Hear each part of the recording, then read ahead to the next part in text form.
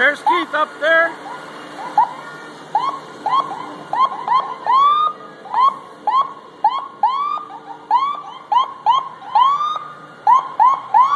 Fourth of July parade, Grayling.